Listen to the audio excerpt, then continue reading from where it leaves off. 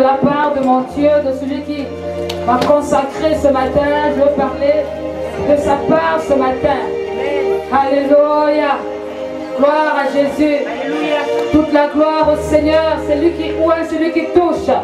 C'est lui qui fait. Alléluia. C'est lui qui fait. C'est lui qui touche. C'est lui qui relève. Jésus t'appelle aujourd'hui. Alléluia. Jésus t'appelle aujourd'hui.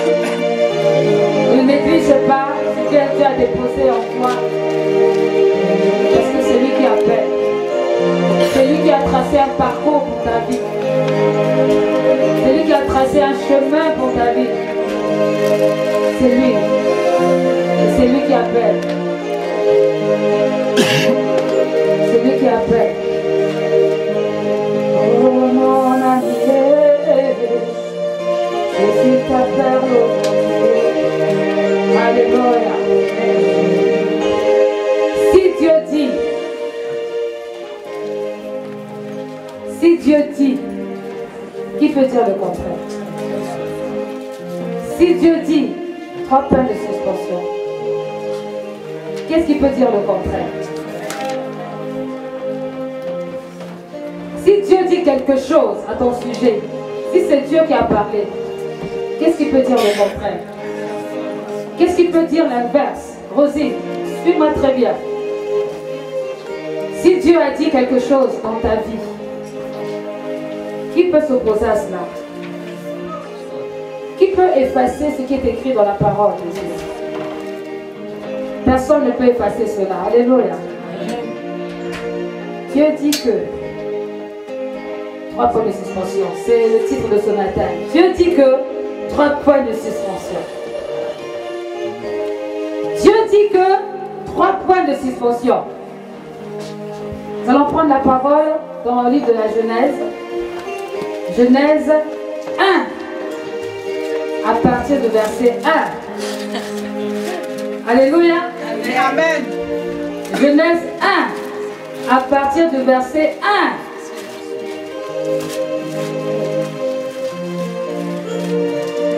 Alléluia. J'aime le Seigneur. Parce que Dieu, quand il fait des promesses, il les réalise toujours. Amen. Hier, nous avons une répétition. Je vous assure, la répétition a chauffé ici. Répétition s'est transformée en adoration, bien sûr. Parce que quand on répète, on adore aussi en même temps. On loue en même temps, mais Dieu voulait qu'on aille plus loin. Et Dieu a confirmé sa parole ce matin. Alléluia. Jésus est Seigneur. C'est pourquoi tout ce que nous faisons, nous devons le faire avec sérieux, avec considération. Il n'y a pas de moment où tu peux dire, je vais essayer d'adorer Dieu. On n'essaye pas d'adorer Dieu, on adore Dieu. Je veux essayer de prier. On n'essaye pas de prier. On n'essaye pas de louer.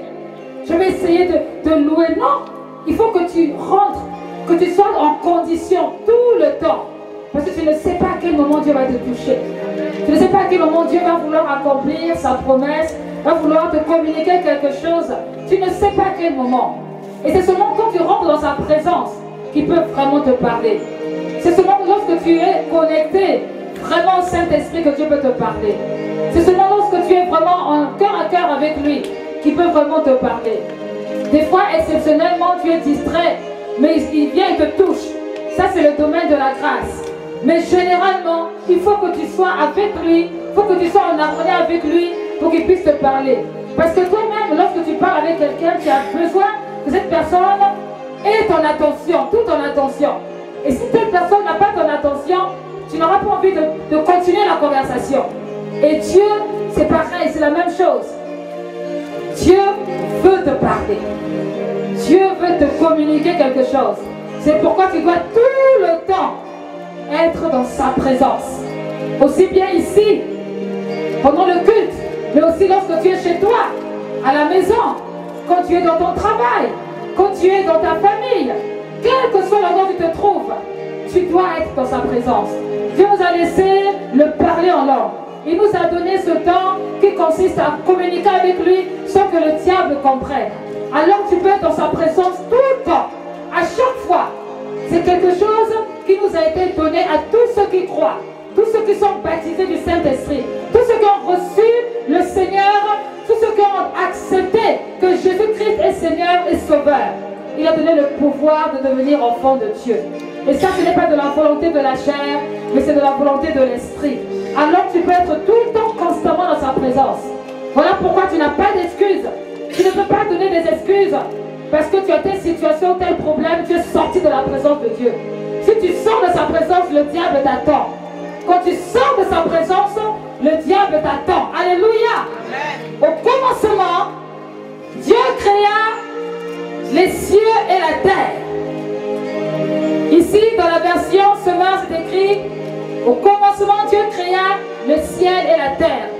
Ne suis pas d'accord. Parce que dans la version originale, dans la version d'Arbi, il est écrit Au commencement, Dieu créa les cieux et la terre. Pourquoi? Les cieux. Parce que bien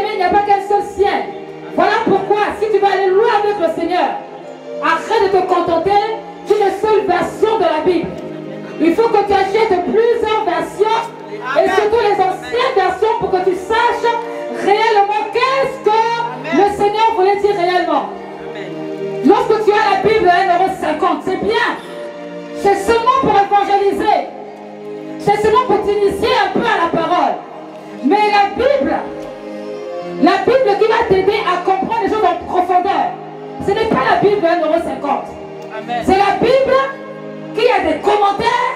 C'est la Bible qui a des versions, comment dire, les, les- les versions qui te ramènent dans la profondeur. C'est pourquoi ne sois pas égoïste ou ne sois pas, comment dire, idolâtre. Tu es capable d'acheter des couchis, capable d'acheter euh, euh, toutes les marques que vous connaissez là, mais tu n'es pas capable d'acheter une Bible à 45 euros. Parce que pour toi c'est trop cher. Par contre, la chaussure là, ou le tailleur, tu vas acheter ça. Parce que ça, ça va te voir. On va te voir. On va te regarder. Là où sera ton cœur, là sera ton trésor. Laisse les Bibles de 1,50€. Va évangéliser avec. Va appeler quelqu'un à venir à, à Christ avec. Toi, au statut, tu es au stade où tu es, tu dois passer à la Bible de 45 euros. 45 euros. Alléluia.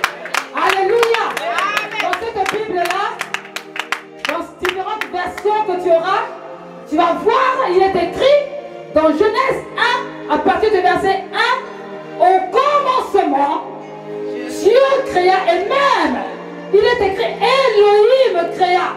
C'est-à-dire Elohim le créateur, celui qui a fabriqué, celui qui est l'auteur, le constituant, créa les cieux et la terre. Et attention, après il y a un point. Après le point, on va à la ligne. Si tu regardes ta Bible de 1,50€, c'est pas comme ça. C'est pas comme ça. Point à la ligne. Pourquoi?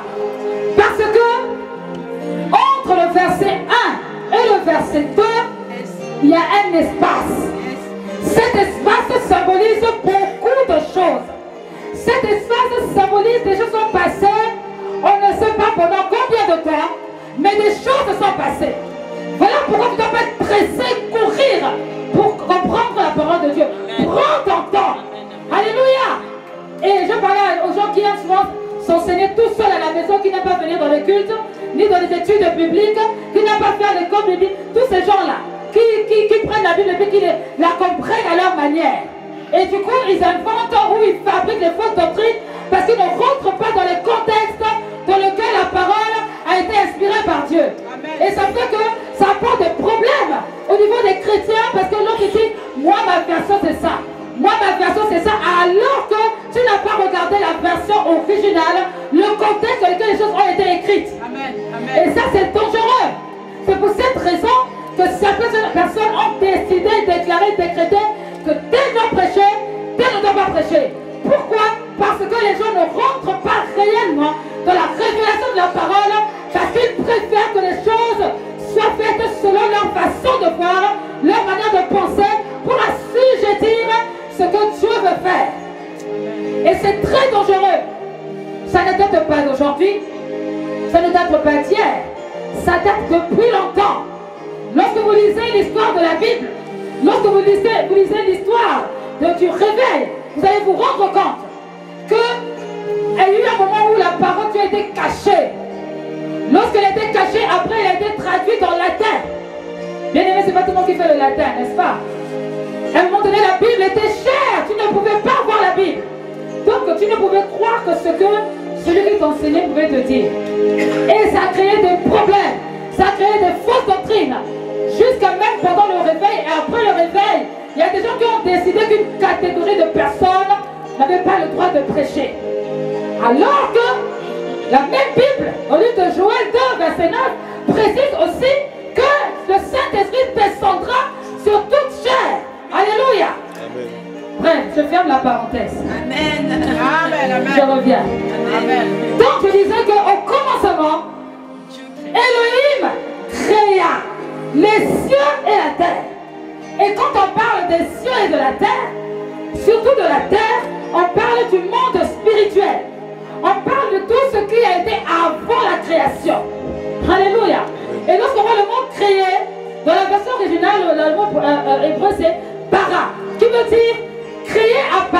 rien.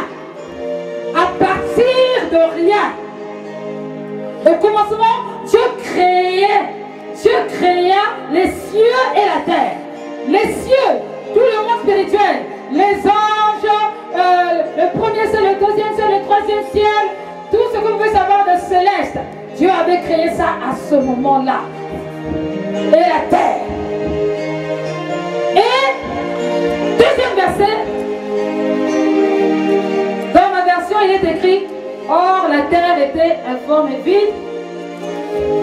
Les ténèbres couvraient l'abîme et l'Esprit de Dieu planait au-dessus des cieux. Ça, c'est la version. Mais de la version originale, la Bible déclare La terre était devenue désolation. La terre était devenue désolation. La terre devint désolation. Si on utilise le vocabulaire, on utilise la conjugaison au passé, ça veut dire que quelque chose s'est passé. Mais qu'est-ce qui s'est passé Entre le verset 1 et le verset 2, il s'est passé quelque chose. Il s'est passé quelque chose dans le ciel. Le diable s'est rebellé. Le diable a amené la rébellion. Le diable a fait certaines choses qui ont déplu au Seigneur. Et le Seigneur a fait descendre le diable, l'a précipité sur la terre. Ézéchiel 28, au verset 14, vous lirez. Le diable est descendu, armé d'une grande colère. Il s'est précipité sur la terre. Et la terre, à ce moment-là, a subi un jugement. La terre a subi un jugement. Et si vous regardez ce que disent les scientifiques, vous savez, c'est parce que tu es chrétien que tu es stupide. Amen. Tu peux être chrétien et instruit. Amen. Amen. Amen. Si vous voulez vraiment avoir la foi qui augmente, regardez ce qui est dit. Ça concorde avec la foi. Un vrai scientifique est en harmonie avec la foi. Parce qu'il n'y a pas de contradiction. On nous dit souvent qu'autrefois il existait des choses, tout ça, etc. etc. Oui, c'est vrai. Des choses ont existé, pas l'homme, mais des choses ont existé. Et ces choses-là ont subi le jugement de Dieu lorsque le diable s'est précipité sur la terre, lorsqu'il est tombé sur la terre. Et c'est pour cette raison que la terre était devenue informe et vide. C'est pour cette raison que la terre était devenue informe et vide. Parce qu'il y avait eu un, juge- un jugement que la terre avait subi. Alléluia. Amen. Dis-moi, arrive, arrive. Arrive. Arrive, arrive. Arrive, arrive. La terre était tohu bohu. De tohu bohu. Dans la version, non, c'est- la terre était tohu bohu. Donc, quand on dit tohu bohu, c'est le désordre, le désastre. Sens dessus, dessous. Pourquoi? Parce qu'il y en a un là-haut qui avait fait quelque chose qui n'était pas bon et qu'il fallait le ramener vers le bas. Et lorsque Dieu a constaté que la terre était devenue informe et vide, Dieu a trouvé que ce n'était pas bon. Dieu a trouvé que ce n'était pas bon. Alléluia. Amen, amen. Je te ramène à ta propre vie. Au commencement, lorsque Dieu t'avait créé, lorsque Dieu avait programmé ta destinée sur la terre, Dieu avait préparé des merveilleuses choses à ton sujet. Hmm. Préparé des merveilleuses choses à ton sujet. Lorsqu'il avait dit, voilà, Marie va arriver sur la terre. Voilà ce que, va, que Marie va faire. D'ailleurs, est-ce devenir Marie Je ne sais pas. Mais voilà ce qu'elle va faire. Elle devra faire ci, elle devra être comme ça. Voilà, voilà, c'était le programme initial de Dieu. Comme au commencement, la terre et les cieux ont été créés, était aussi le programme de Marie. Seulement, un moment donné, quelque chose s'est passé. La désolation est arrivée. Lorsque Marie est arrivée au monde, par les parents qu'elle a eus, il n'avait pas la révélation. La désolation est entrée. Je peux te dire que la vie que tu es, ce n'est pas la vie que Dieu veut? La vie que tu mènes n'est pas la vie que Dieu avait dit au Amen, départ. Peut-être pas pour tout le monde, mais pour pas mal de personnes. Amen, amen. Tu ne vis pas ta vie. Il y a des gens qui seront fâchés quand ils seront au ciel. Vont dire Seigneur, je ne comprends pas. Dieu, parce que Dieu t'emmènera dans une chambre où il va te montrer tout ce que tu devais avoir en ayant la révélation de sa personne que tu n'as pas eu. Tout ce que tu devais avoir. Mais refuse ça. Je refuse. Refuse ça. Faut que tu rentres dans ta destinée. Faut que tu rentres dans ta destinée. Au commencement. Au commencement, tout était beau. Tout était merveilleux parce que Dieu ne crée pas